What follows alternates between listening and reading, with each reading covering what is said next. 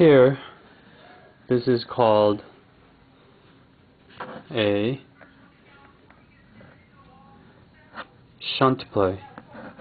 This is called a shunt play. This is the position and white is to move. So white threatens here. White threatens to take this black stone, so black will have to respond. He can't respond this way because then white will come over here. And then this is in this is in um this is in Atari. So when black responds to that then white has gotten this one killed. So black cannot push this way. Black has to push this way so white extends out and black seeing that this stone is going to be in danger next. We'll have to put one here white will continue to close off. Black. Will try to put this white stone in danger while so it's a double danger because it's a it's a Atari plus a threat to finish this white stone off with this squeeze play. So white responds that this this was not there.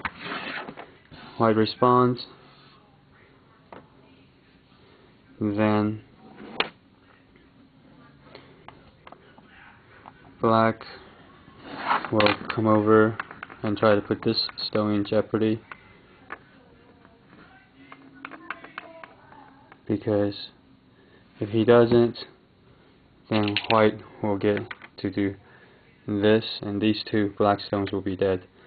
So white must I mean black must try to take this stone. So that when white tries to do this black could take so the next thing white does is to try to put these three in jeopardy in Atari. And when black connects with this empty triangle when black connects he forms a empty triangle. One two three right there empty triangle. And that's a shunt play because by putting a stone here by um, by black responding here and forming an empty triangle. White just puts it here and these four five stones are dead. This is a shunt play and this is on page 54 of this Teach Yourself Go book. Teach Yourself Go on page 54 a shunt play. Right here.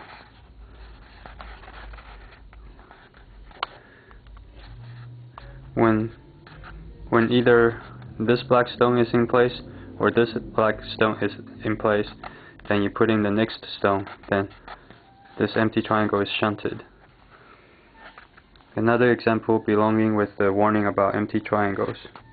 A typical tactic to break into territory.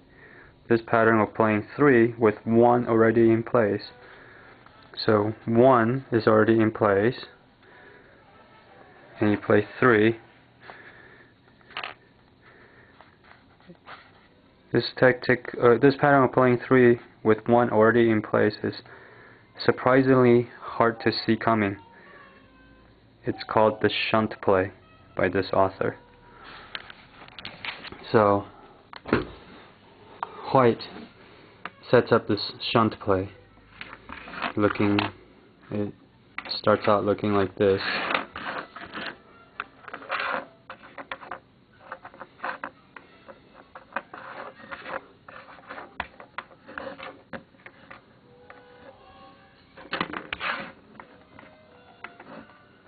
So black has a potential for a shunt play here when he connects. And then if somehow white could get stones all, if he could get a stone in place here, something like this, and then he, with so with this stone already in place, putting a shunt play here, that would kill this entire area here. So white goes about trying to make that come to fruition. He threatens this stone. Black has to respond. So white comes out this way. Black sees this black stone being threatened. He extends that. White tries to close off to make these two only have two liberties. Now black is going to try to threaten this white stone and and have a Atari, so it's a double threat. One of an Atari and one of an impending threat. It's kind of like a edge play, squeeze, edge play, an edge play. So white has to respond here because this is a delayed threat. It still takes a few steps, even though this white stone is dead for sure. If this black stone comes here, it, it's time delayed, it's not immediate. So white responds this way. Black will push. Now white will try to convince black to connect this empty triangle here. So white puts a stone here. That's the stone that's in place. Black comes in and that's the shunt configuration. When this stone number one is already in place then you put in number three. So one is already in place. Two black response to save to connect these stones with that group. Two and then three with one in place equals the shunt play.